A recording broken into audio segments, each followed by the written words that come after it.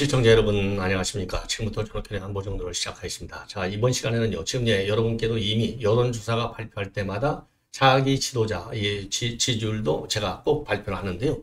최근에 보면요. 이 갤럽에서 어, 지금 예, 김문수 장관의 지지율이 2%대도 나오다가 어, 지난주에는 이 에이스에서 어, 에이스 리서치에서 발표한 걸 보면요. 4%를 넘어섰어요. 자, 그래서 지금 이제 전문가들의 평가를 보면은 김문수 장관과 한동훈 간의 양강 구도로 갈 것이 아니냐 이런 전망이 고개를 들고 있습니다. 자 그리고요 신지루 부장판사 이제 이제 10월 8일 날 지금 이제 2차 공판 준비 기일이 열립니다. 자 이 자리에서요 이재명이가 재배당을 신청했는데 예, 신지루 부장판사 이거는 기각할 것이다. 뭐 신유로 판사가 바보입니까? 이거를 뭐 수용하게? 자 그래서 기각할 것이 굉장히 예, 좀 유력하게 보이고요. 당연히 기각해야 되겠죠. 예. 그리고 나서는 신진우 부장판사의 전도이 뭐예요? 속전속결주의. 자, 그래서 집중 심리를 할 가능성이 크다. 이러한 전망이 나오고 있습니다. 자, 그리고요, 이제 오늘 지금 이제 부산 금정에서 이재명이가 아, 지금 한동훈 어, 대표가 이제 유세를 했고요.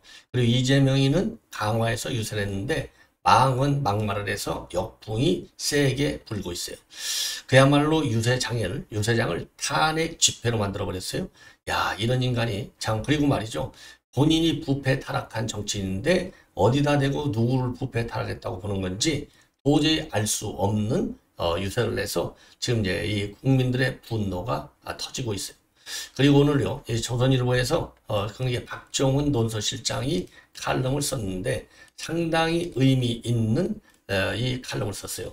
한마디로 해서 지금 이 한국과 중국 간에 지금 산업 경쟁력 어, 지금 이 상당히 격차가 있어 왔는데 최근에는 중국이 우리를 다 따라잡았다. 반도체만 빼놓고 이렇게 지금 혁신의 혁신을 거듭하고 있는데 그 이유는요. 중국에는 대한민국에 민주당이 없다는 겁니다. 역설적으로 제목이 그래서 혁신하는 중국엔 민주당이 없다로 돼 있어요. 여기에서의 민주당은 뭐냐? 이 노조 편만 맹목적으로 드는 이런 민주당. 이게 없다는 거죠. 심지어 공산주의는 노동자 당구라고 이제 볼 수 있는데 그런 노동자 우선주의를 택하고 있는 중국 공산당마저도 이 민주당하고는 근본을 달리한다. 그래서 혁신 경쟁에 있어서 대한민국은요, 이 노조의 볼모가 잡혀서 경쟁을 못하고 중국의 경우에는 사회주의 공산당 독재 체제인데도 불구하고 노동 계급의 볼모가 되지 않기 때문에 혁신이 스피드를 내고 있다. 자, 그래서 이러한 민주당이 없는 중국에는 이게 큰 힘이 되지만 대한민국이 이 민주당 때문에 말하자면 산업 경쟁력마저도 지금 뒤지고 있다. 이런 경고의 칼럼을 어, 지금 싣고 있어요. 그래서 요 내용을 쭉 말씀을 드리겠는데, 자, 우선요, 우선 이제 이, 이 김문수 어, 지금 예, 장관의 지지도를 보면은요, 아주 뭐 어마어마하게 빠른 속도로 증가하고 있다. 예, 이렇게 예, 지금 이제 이, 여러분들도 다 아실 거예요. 저도 여러분께 이미 보도해 드렸지 않습니까? 그래서 차기 지도자 아, 이 지지율을 보면은요, 지금 이제 김문수 장관이 첫 번째 갤럽을 보면은 에, 거기서 이제 2, 2, 2%를 어, 그래 2점 홍준표 어, 어, 그러니까 이제 홍준표를 앞서는요, 앞서는 지지율을 받아왔어요. 자 그러다가 이게 말이죠, 이제 최근에 들어서는 에이스 리서치는 이제 4%로 지금 내 뛰기 시작을 하고 있습니다. 자, 그래서 요 지지율을 한번 제가 보여드릴게요. 예, 요, 요 지지율. 이걸 보시면 지금 차기 대통령 적합도 뉴시스에서 에이스 리서치에게 의뢰를 한 내용인데요. 이재명이가 41.2, 한동훈이 19.3, 그 다음에 조국이 7.1, 이준석 4.5, 그리고 김문수가 4.3. 그러니까요, 홍준표, 어, 오세훈, 안철수 싹 다 밀어내고 지금 이제 이 보수에서는요, 이준석이하고 0.2 차이로서 3위. 그렇지만 이준석은 우리 당은 아니잖아요. 그러니까 우리 국민의힘 안에서는 양강 구도가 지금 이미 형성되고 있다. 이렇게 보여집니다. 그러면 이 추세가 일시적인 추세일 것이냐, 아니면은 이 추세로 쭉 갈 것이냐. 이게 이제 우리의 이제 그 이제 중요한 예측 판단, 어, 어, 어, 판단할 수 있는 이제 주, 중요한 이제 과제가 되고 있는데 지금 이제 펜앤마이크에서 보도하고 있는 걸 보면은 이게 앞으로 지속될 가능성이 상당히 크다. 이렇게 전망을 하고 있습니다. 자, 그래서 요 이제 김문수 장관이 우선요, 이 한국갤럽에서 지난달 9월 27일 날 발표한 이 선호도 조사를 보면은 김 장관이 2%, 그래서 이 보수 진영에서는 한동훈 장관이 한동훈 대표가 유일하게 15%, 그래서 2위를 하고 있고요. 이 갤럽입니다. 그리고 오세훈, 원희룡은 각각 1%, 안철수는 1% 미만. 그래서 이름이 빠져나갔고 그리고 홍준표가 지금 이제 이 어, 김문수 장관하고 똑같이 2%를 기록했다는 겁니다. 그랬더니 이런 여론조사 이제 9월 말인데 예, 뉴시스가 아, 에이스 리서치에서 의뢰를 조사한 건데 이거는 9월 28일하고 29일 어, 이 조사한 내용인데요. 여기에서 4.3% 그래서 19.3%의 한동훈 하고 여권 정치인 중에서는 2위를 기록하고 있다는 겁니다. 자, 그리고 이제 김문수 다음으로다가 이제 홍준표가 3.8, 오세훈 2.9, 안철수가 2.1. 그러니까 갤럽에서는 안철수 이제 아웃이 됐는데 이 뉴스이스의 경우에는 홍준표, 오세훈이가 뒤를 잇고 있는 것으로 나오고 있어요. 그러면 왜 김문수 장관이 이렇게 뛰느냐? 뭐 여러분들 잘 아시다시피 한동훈이가 왜 떴습니까? 국회에서 대정부 질문 또는 법사가 열렸을 때 민주당에 단단히 맞서 싸운 그 예, 투사 예, 파이터로서의 이미지. 그래서 이제 어, 이 한동훈 어, 지금 예, 장관이 떴지 않습니까? 현재는 대표지만은 그리고 이제 그 문재인 정권에서는요 추미애와 맞짱 뜨는 한동훈 이런 그러니까 이제 그랬는데 김문수 장관의 경우는 이번에 청문회 스타로 떴다는 겁니다. 그래서 이번 청문회에서 박근혜 전 대통령에 대한 탄핵의 부당성 그리고 신용 신영복을 존경한다는 문재인의 사상 문제 그리고 일제 식민지 시기에서의 국정 논란 요거를 야당이 집요하게 공격하고 몰아붙였지만은 소신을 굽히지 않고 당당하게 맞서 싸웠어요. 요것이 이제 하나 이제 청문회 스타가 된 건데 요게 일약 2%대로 첫 데뷔한 가장 직접적인 원인이 된다. 이렇게 이제 평가를 하고 있고요. 그 다음에 윤한 갈등 때문에 영남 지역을 중심으로 한 윤석열 대통령의 지지층이 한동훈에 대한 지지를 철회하고 있는 것도 큰 이유가 된다는 겁니다. 그래서 예컨대 뉴시스 에이스 리서치 여론조사를 보면은 TK하고 PK 지역에서의 에, 지금 예, 김 장관의 지지율은요 평균치 4.3%라도 훨씬 높은 TK에서는 6.0 그리고 PK에서는 6.8%를 기록하고 있고요. 특히 윤 대통령에 대한 긍정평가층에서는 예, 예, 그 27.8%인데요. 김무수 장관 지지율이 14.3%나 돼요. 그래서 평균 4.3%의 3배나 높아요. 이 정도로 해서 그러니까 윤 대통령의 지지층이 한동훈한테 가지를 않고 김문수 장관 쪽으로 이동이 되고 있다. 이렇게 분석이 되고 있어요.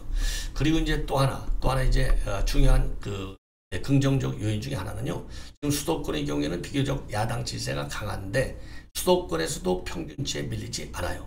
그리고 이제 고향의 TK 지역 지지율이 PK보다도 어 지금 어 지금 어 좀 낮은 점. 요것은 앞으로 어, 추가 상승을 견인할 수 있다. 이런 해석을 낳고 있습니다. 그 다음에 게 이제 지역적 백그라운드가 굉장히 중요한 어드밴티지가 된다는 말이고요. 그 다음에 당내 역학 구도도 김문수 장관한테 굉장히 유리하다. 그래서 이 한동훈 대표가 63% 지지를 얻어서 당 대표를 됐지만은 당 대표를 됐지만 지금 이제 이 보수층에서는요. 이 한동훈 장관이 최전에 이제 유한 갈등을 일으키면서 피로도가 높이 가고 있다는 겁니다. 그러다 보니까 대안이 필요하다. 예. 그 대안이 바로 대안이 필요한 시기에 김문수 장관이 떴다는 겁니다. 자, 그래서 요런 그, 이, 그, 그 전반적인, 어, 지금 당내 역학으로 특히 지금 이제 이 우리 국민의힘의 국회의원들의 분포도를 보면은 압도적으로 TK, PK 지역에 많지 않습니까? 자, 그러면은요, 자기 예, 지도자, 아, 이 선출 과정에서는 국회의원의 힘이 굉장히 클 수밖에 없다는 것이죠. 자, 그래서 그런 점도 굉장히 유리한 그런 예, 예, 측면이 될 수 있다는 겁니다. 자, 그래서 이제 지금 현재 국회의원이 지역구가 90명인데요. 영남이 무려 59명이나 된다는 겁니다. 그래서 59명의 영남 어, 출신 국회의원들은 친한이 아닌 대부분 친윤 성향을 보이고 있어서 예, 윤, 어, 윤 대통령의 지지가 결국은 그대로 한쪽으로 가는 게 아니라 김문수 쪽으로 간다. 예. 그리고 이제 김문수 지금 장관의 경우는 국회의원 세 번 했고 경기지사 두 번 했지 않습니까? 그러다 보니까 TK, PK 지역에서 재선 이상의 영향력 있는 의원들하고 지금 연관 관계가 굉장히 한동훈보다는 세다는 겁니다. 자, 그래서 요 이 김문수 장관이 이렇게 뜨는 것은 결국은 양강 구도를 형성하는 것은 보수 진영에서 자기 대선을 승리하는데 상당히 유리한 기반이 될 수 있다. 자, 그래서요, 앞으로 요 이 한동훈 어, 대표, 어, 그 다음에 이제 이 김문수 장관의 지지율의 추이가 굉장히 중요한 관심 포인트가 된다. 이렇게 지금 내가 이 평가가 되고 있습니다. 그래서 앞으로도 여러분들께 요 관련 뉴스는요 계속적으로 해드리도록. 자, 그래서 어, 지금 이제 이 김문수 장관이 굉장히 세게 빠르게 치고 올라오는데 지금 이제 이 이재명이 이재명과의 싸울 능력, 투쟁 능력, 그리고 이 정치 경력 이런 걸 본다면 김문수 장관이 단연코 한동훈보다 앞서죠. 그래서 이제 지금 이제 김문수 하면은 그동안에 이제 강성 우파다 이런 이제 인식이 세지 않습니까?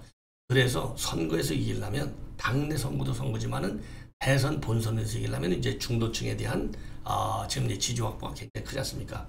그래서 보다 좀 유연한 전략을 어, 유연한 전략을 이 김문수 장관이 적극적으로 추진해 내는 것이 좋지 않을까 이렇게 생각이 듭니다. 자 이번에는요 이제 신진우 판사 얘기가 되겠는데요. 신진우 판사 아, 지금 굉장히 좀 열불이 나 있다 이게 볼 수 있겠죠. 예. 자 왜냐 자기 신진우한테 내가 재판 못 받겠어. 이게 재판부 재배당을 대놓고 요청했지 않습니까? 이게 이제 한 번도 아니고 두 번씩이나 되는 거예요. 중앙지검으로 가져가겠다. 이제는 신진우한테 재판을 받지 않겠다. 그러니까 신진우 판사가 지금 열불이 나 있다는 겁니다. 그래서 다음 주 화요일 날 공판 준비일이 잡혀 있는데 여기에서 어, 재배당 요청을 기각할 것이다. 예, 이런 전망이 나오고 있습니다. 자, 그래서 지금 법 쪽에서 나오는 얘기를 본다면 이, 이게 이제 신유한테 이제 어, 신유로 부장판사한테 배당된 것도 의도적으로 배당한 게 아니라 이게 이제 컴퓨터 배당을 어, 컴퓨터를 통해서 이제 배당이 된 건데 요거를 두 번씩이나 이제 그 기피하려고 한 거. 이거는 굉장히 신진호 부장판사는 에, 이 기분 나쁜 불쾌한 어, 좋지 않은 것이죠. 그래서 어차피 이 신진우 뭐 수중을 벗어날 수 없는데 이렇게 노골적으로 두 번씩 한 거에 대해서 지금 이제 이 수원지법 그리고 특히 신진호 부장판사가 굉장히 불쾌하다. 그래서 재배당 신청을 기각하고 바로 속전속결로 갈 것이다. 그래서 더군다나 1차 준비 기일에서 신진호 판사가 뭐라고 그랬습니까? 그 당시 이재명 측에서 뭐라고 그랬어요? 재판을 계속 지연시키려고 재판 자료를 다 잊지 못했다. 이렇게 얘기했거든요. 그러니까 시간을 좀 달라. 그러니까 이제 신진호 부장판사가 뭐라고 그랬어요? 아니 기소된 게 두 달이 됐는데 그동안에 뭐하고 있었느냐? 재판 자료 다 잊지 못하고 다음 재판에서 어, 좀 꼭 읽고 와라. 예. 자, 그렇게까지 좋게 얘기하면 당번 거고요. 조금 세게 얘기하면 지적을 한 것이죠. 이런 것만 보더라도 신진우 판사 굉장히 지금 자극을 받다. 예, 이런 평가 나오고 있어요. 자, 이러한 가운데 이재명이가요. 지금 오늘 인천 강화우측 앞에서 어, 지금 이제 강화 아, 군수 재선거 유세를 했어요. 이 유세에서 아예 대놓고 윤석열 대통령을 끌어내려야 되겠다. 이런 망언, 막말을 해서 지금 파장이 야기되고 있습니다. 이 뭐라고 했느냐? 일을 제대로 못하면 혼을 내서 선거에서 바꾸고 선거를 기다릴 정도가 못 될 정도가 되면 그 정도로 심각한다면 도중에라도 끌어내려야 된다. 이것이 민주주의고 대의정치다. 이 얘기는요, 결국 이제 이재명이가 군, 어, 군주, 어, 민수, 이렇게 해서 이제 탄핵을 강력히 시사하는 이 문자 메시지를 한 달, 한 달여쯤에 내놨어요. 여기에 이어서 아예 대놓고, 그죠?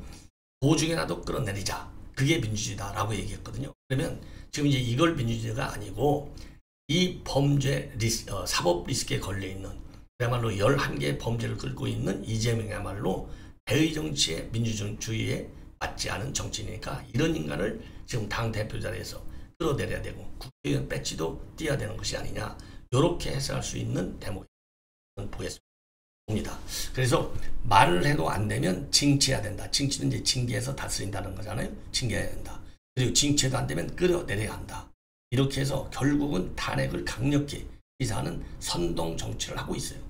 자, 그러면서 이제 여기서 아주 참 야, 웃기는 얘기인데 한마디로 여러분을 위해 일하라고 월급을 주고 권력을 맡겼는데 여러분을 위해서 권력을 쓰는 게 아니라 개인적으로 배를 채우고 범죄를 숨기고 부당한 이익을 챙기는 데 쓰면 안 된다.